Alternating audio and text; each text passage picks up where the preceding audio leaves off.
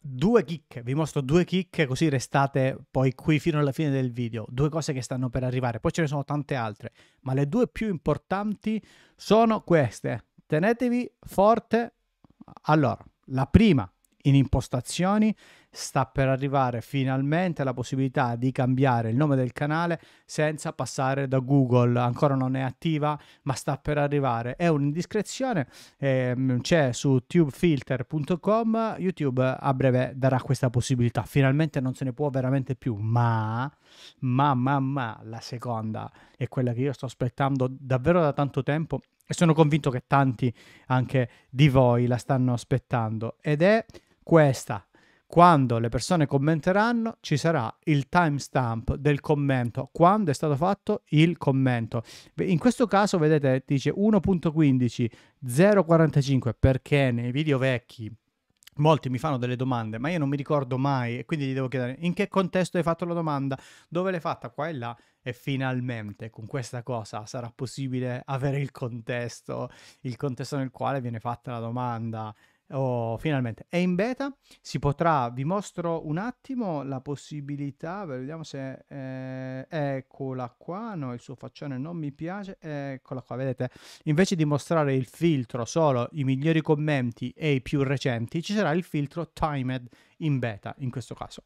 Molto bello, molto interessante, grazie grazie YouTube, eh, è in test per pochi, ora eh, lo vogliamo, lo vogliamo anche noi, ma quali altre novità stanno arrivando? Innanzitutto una cosa importante, vabbè, sapevamo che la pandemia ha portato sicuramente molti a passare in tanti ambienti sociali hanno iniziato a fare mamma che numeri che abbiamo fatto quest'anno e eh, grazie al cavolo io avrei voluto proprio che proprio non ci fosse mai questa dichiarazione.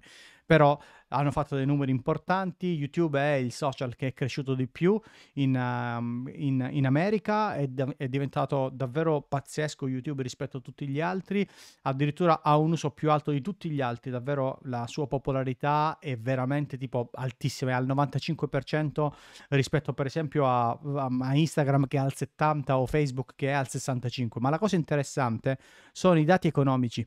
I dati economici sono molto interessanti perché mentre Google è cresciuta del 34% globalmente, quindi è passata mm, da tantissimi miliardi Uh, insomma, ha fatto da 40, 41 miliardi a 55 miliardi. Lo stesso quarter, quindi eh, insomma, tra il 2020 e il 2021 il, il Q1, eh, YouTube però è passata da 4 miliardi a 6, cioè significa del 50%, cioè le entrate di YouTube sono cresciute del 50%, da 4 miliardi a 6 miliardi, è veramente, veramente tanto ed è importante eh, per tutti. Ma cosa sta per arrivare e cosa mm, mm, diciamo ci è utile. Innanzitutto la parte di mobile stanno finalmente facendo delle cose importanti. Innanzitutto eh, tutta la parte di visione del profilo da mobile la stanno migliorando con una maggiore visibilità per quello che è il numero di iscritti quando siamo iscritti a YouTube,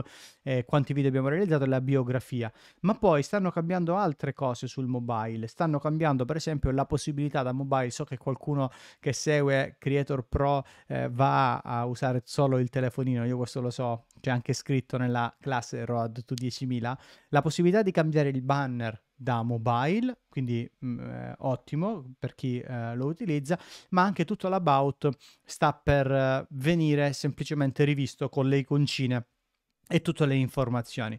Non finisce qui da mobile perché anche ehm, c'è un altro aspetto da, eh, da, mobile che volevo portarvi, poi vi dico altre due cose, i permessi, ovvero la possibilità di gestire eh, YouTube, eh, quando voi date la possibilità di gestire YouTube a, a, qualcuno lo può fare solo da desktop, ora sta arrivando anche da mobile e inoltre il link a YouTube Studio sarà anche nella main app di YouTube, così quando noi visualizziamo un video e abbiamo i permessi, possiamo entrare a modificarlo direttamente da YouTube con un link tra YouTube e l'applicazione e YouTube Studio, l'altra applicazione. Questo è importantissimo per noi perché così passiamo velocemente da una cosa all'altra.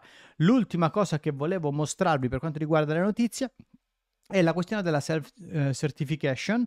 Ehm, perché è interessante? Perché sostanzialmente loro stanno andando a eh, decidere delle altre linee guida. Sapete che oramai per chi di voi sta iniziando, eh, ha fatto l'upload dei video in, ultimi, in quest'ultimo periodo, ha visto che eh, la questione dei controlli preventivi sta diventando sempre più pesante. Prima di pubblicare il video fanno il controllo per la pubblicità, il controllo delle linee guida, tutto in automatico e ci danno l'ok per la monetizzazione. Questo ok per la monetizzazione monetizzazione che è, eh, l'hanno fatto Step ed è allenato dai nostri feedback, diciamo che ancora non funziona benissimo, però eh, c'è un, un momento, se noi sbagliamo, eh, diciamo questa cosa qui, se noi sbagliamo su un video a dare la valutazione, rimane questo avviso che abbiamo sbagliato. Ecco, stanno modificando questa cosa e gli avvisi dei nostri errori rimarranno per 90 giorni. Dopodiché eh, eh, torneremo ad avere il profilo, diciamo, pulito. Quindi se sbagliamo non rimarrà per sempre come sta avvenendo ora. Io ho sbagliato una volta, che poi non avevo neanche sbagliato, secondo me. Eh, vabbè, lasciamo stare con YouTube, ho un rapporto abbastanza uh, particolare, però eh, ho un avviso da, da, tanto tempo per un errore che ho fatto uh, all'inizio sulla valutazione secondo loro. Ora rimarrà 90 giorni e quindi credo che sia importante. Allora, con questo ho concluso, ma vi aspetto venerdì o venerdì o il prossimo martedì eh, uscirà il video sugli iscritti al canale, sulle statistiche degli iscritti al canale per capire alcune cose importanti. E quindi credo che sia un video di interesse eh, abbastanza, abbastanza, grosso per, uh, per, tutti, per capirci qualcosa di più. Invece per le live che faremo qui su Creator Pro, però tendenzialmente tipo sull'altro canale sul fast forward io mi sono spostato su Twitch. Ancora non ho fatto una programmazione mi sto testando sto studiando sto mi sto divertendo. Twitch slash fate Giorgio Tabe, mi trovate lì e piano piano inizierò a fare delle altre cose. Noi ci vediamo o venerdì o martedì.